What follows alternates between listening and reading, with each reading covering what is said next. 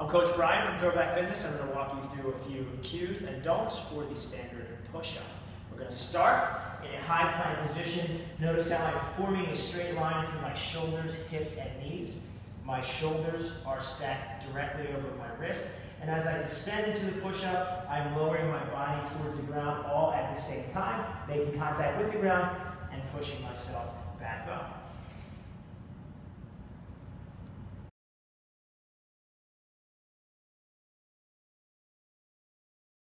A couple things to note when performing the push-up and things to avoid. You want to make sure your shoulders are stacked over your wrist, that your hands are not out in front of your face as you perform the push-up.